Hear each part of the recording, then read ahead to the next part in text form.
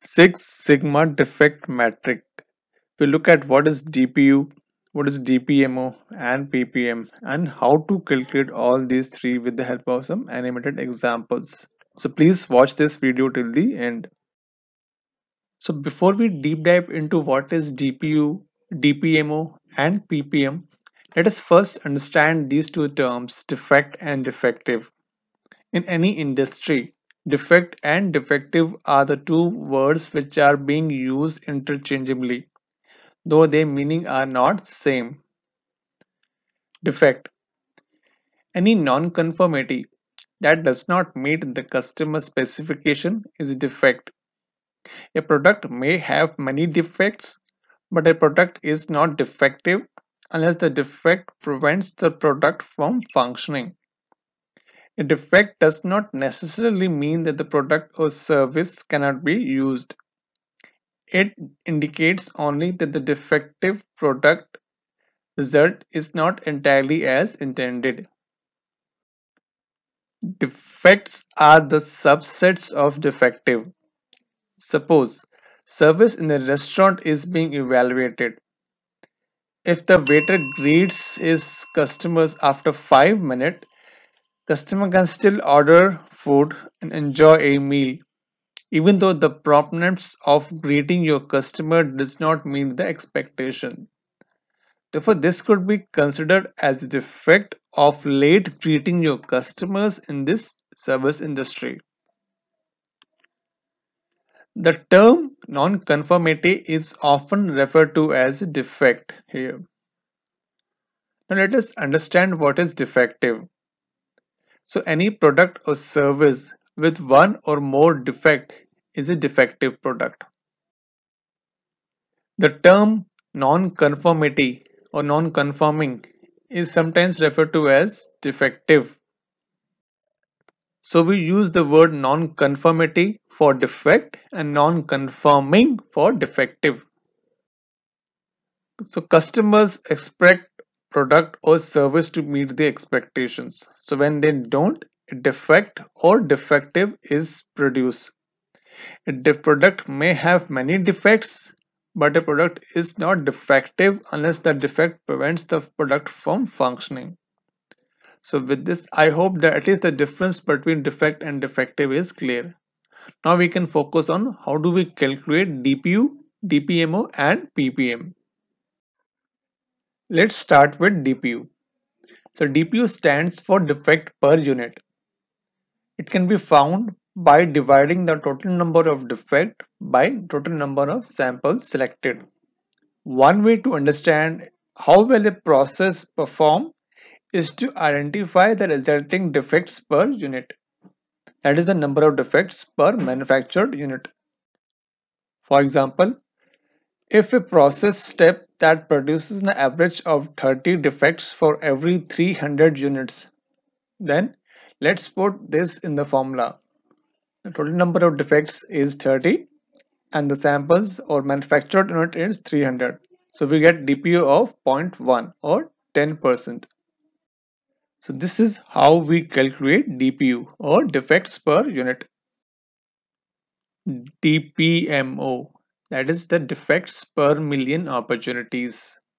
So defects per million opportunities describes the average defects that is the opportunities for the defects in each unit produced.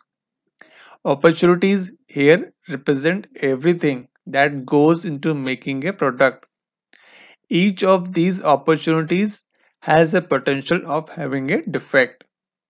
So we can calculate DPMO by using the DPU that we have calculated previously into 10 to the power 6. So this formula uses the data from the previous metric DPU. It calculates the probability that a given process will produce X number of defect opportunities per million unit produced. It differs from the calculation of defective parts per million that is ppm that I'm going to cover next after this. Let's see with the same case study. If, if I have the same case study where I have average defect of 30 defects for every 300 units, then my DPMO will be DPU into 10 to power 6. So DPU I have calculated as 0.1 and if I multiply by 10 to the power 6 we get DPMO as 10 to the power 5. ppm ppm stands for part per million and accounts for the number of defective parts per million produced. It is different from the DPU or DPMO that we have calculated. In the previous cases, we were calculating the defects, but in ppm, we are looking at the defective parts. It does not account for the fact that the multiple defects may affect a single part. One defective part, even with multiple defect, count as a single defective. We can calculate ppm as defective parts in a sample into 10 to the power 6 divided by total sample selected. Let's take a case here. If a process step that produces average of 7 defectives for every 10 units, then ppm would be 7 into 10 to the power 6 divided by 10, where 7 is a defective and 10 is the number of samples. So we get ppm of 70,000. So in this case, 7 defective unit Please remember it is the number of defective and not the number of defects. Out of 10 units that produces a ppm of 70,000. So now that we have calculated DPU, DPMO and ppm, how do we convert it and see what sigma level we as an industry are operating at? Let's see if this is my Six Sigma DPMO and yield level and this is my Six Sigma graph so as the Six Sigma level increases from 1 Sigma to 6 Sigma, what is the DPMO we have and what is the yield I'm getting? So for 1 Sigma, my DPMO will be around 6 lakh 90,000 and yield will be around 30%. 2 Sigma, DPMO of 3 lakh 8,500 and yield around 69%. 3 Sigma, 66,800 yield around 93.3%. 4 sigma 6200 DPMO and yield around 99.37. 5 sigma 230 and yield around 99.97.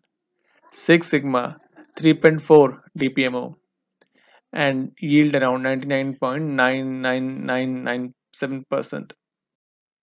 So if you know what is your DPMO level, you can calculate at what industry level your company is operating.